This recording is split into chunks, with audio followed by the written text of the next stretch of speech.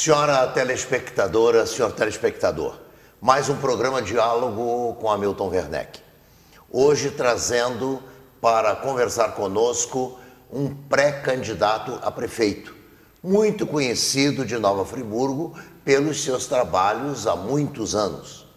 Eu costumo dizer que José Eduardo Valentim nunca ficará desempregado, porque ele é multiprofissional.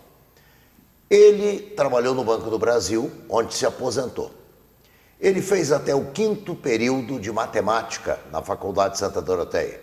Ele fez administração de empresas.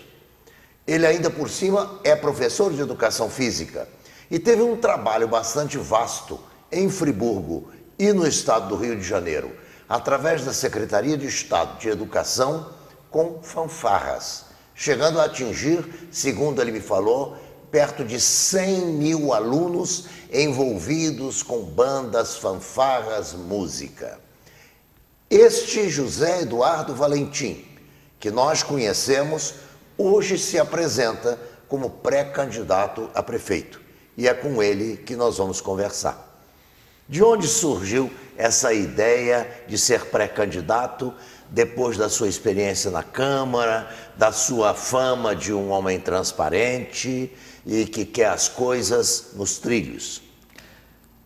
Boa, é, Hamilton, é um prazer muito grande estar no seu programa. Me sinto lisonjeado de ter sido convidado por você, é, que atuamos também junto no, no, Colégio Estadual, no nosso período de magistério, e também no Colégio Anchieta.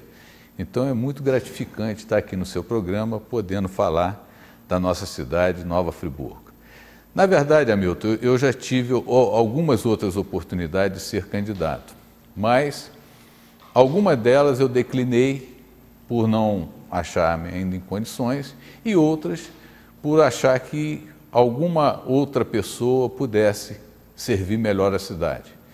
Mas, infelizmente, a gente não, não acerta tudo aquilo que você é, almeja. Né? Às vezes você comete alguns erros e, ao apoiar determinadas pessoas, a gente também cometeu alguns erros que, e, e que a cidade sofreu. Diante disso, eu entendi que o meu momento chegou, eu estou aposentado, como você bem disse, tenho bastante tempo, não dependo da política como profissão, porque eu acho que é muito importante você ser é isento da, da, da dependência da, da, do salário de um, de um político, né? O salário de um parlamentar, um salário de um executivo. É, e isso me faz ter muita tranquilidade em, em apresentar meu nome como candidato a candidato, como um pré-candidato a prefeito de Nova Friburgo. Perfeito. Você foi vereador por quantos mandatos? Eu fui vereador por dois mandatos. É, fui eleito em 96, exerci o mandato de 97 a 2000, fui reeleito, felizmente, com o dobro dos votos, aí sim já com uma, uma margem bem tranquila de votos, em 2000, quando também fui eleito presidente da Câmara. Aliás, é importante dizer que a eleição de presidência da presidência da Câmara ela é mais difícil do que a eleição para vereador, porque ali você depende do voto do vereador. E, na época, eu fui candidato a, a presidente da Câmara, vencendo uma eleição de, onde nós tínhamos 19 vereadores, venci a eleição de 14 votos favoráveis a mim contra 5.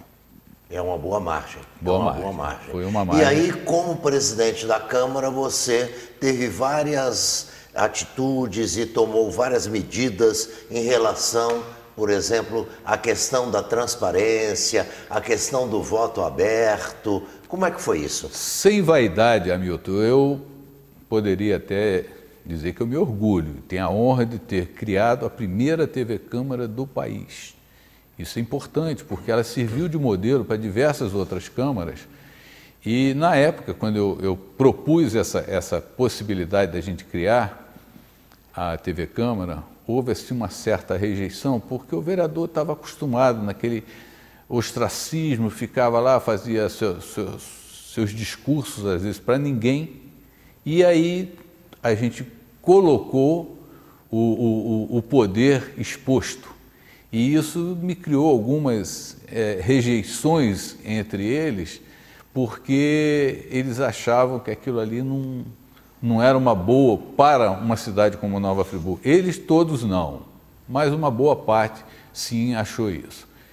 E, mas nós criamos assim mesmo, enfrentei a, a, a situação e nós hoje temos aí o privilégio de termos a primeira TV Câmara do país, pioneira em câmaras municipais.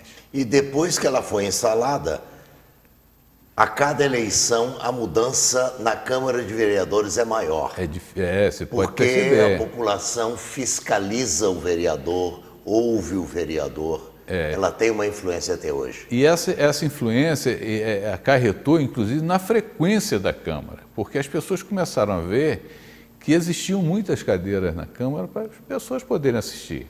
E aí deixou de ter um ou dois assistentes, que muitas vezes um deles era um jornalista, que tinha que estar lá fazendo a cobertura, passou a ter é, diversos, diversos, é, é, diversas pessoas que, mesmo vendo, tendo a oportunidade de ver pela TV, passaram a frequentar a Câmara também.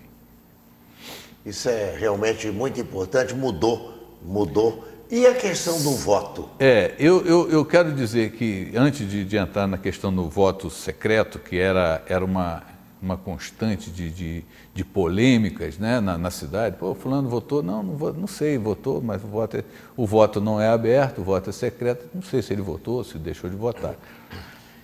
Isso me custou mais caro, tá? isso aí foi mais, mais difícil de aprovar. Porque a TV Câmara, quando eu aprovei a TV Câmara, a TV Câmara é um ato administrativo. Eu assinei e não precisava levar em plenário mas a, o voto aberto eu precisava do voto dos vereadores. E eu sabia, eu tinha é, é, noção na época que se eu colocasse o voto, a, a, o projeto no expediente, dificilmente eu teria quórum para aprovar a extinção do voto secreto. Como o presidente tem a prerrogativa de atravessar o projeto em qualquer momento da sessão, em qualquer momento do, do expediente, não da hora livre. Eu preparei o projeto, conversei com o procurador, com os auditores da Câmara e as, acertamos todo o, o projeto e eu deixei ele na gaveta para um dia que eu achasse que seria interessante colocar. E mantive o olho no, no, livro de assinaturas, porque depois que o vereador assina, ele tem que ir, ele tem que comparecer, ele não pode ir embora. E aí, aguardei, meu assessor viu lá, ó, já tem 18 assinaturas, só falta a sua, eram 19. Então, eu falei, é hoje então. E aí, ainda perguntaram, ah, não tem nada, hoje como é que está? Não, não, tem um projetozinho aí para a gente votar assim.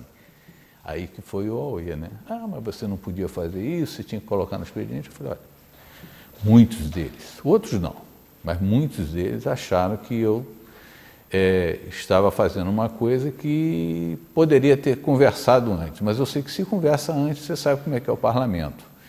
E aquilo ali, para mim, era uma questão de honra, porque eu fui jurado, Hamilton, é, é, no tribunal do júri. E lá o juiz me convocava eu queria meu voto secreto, porque eu ia condenar ou absolver uma pessoa que eu não sei se era inocente ou se não era, porque o promotor acusa, o defensor defende. Você não tem aquela noção do que é realmente verdadeiro, é. você avalia ali naquele meio. Então lá, quando eu era jurado do Tribunal de Júri, eu queria meu voto secreto, até porque se eu não fosse, eu seria até possivelmente preso se eu não, não atendesse ao, ao chamado do juiz. Já na, na, eleição, quando você se propõe a ser candidato ao parlamento, você chega na rua com um chamado santinho, Hamilton, aqui, sou candidato a vereador, sou candidato a deputado, sou candidato a senador, eu queria que você acreditasse em mim e votasse em mim. Aí você me dá o voto, chega lá na frente, existe uma votação polêmica, eu me escondo atrás de um voto secreto, então a transparência. A pessoa fica sem saber? Sem saber. Então eu achei, entendi e enfrentei. Na verdade, eu entendi e enfrentei.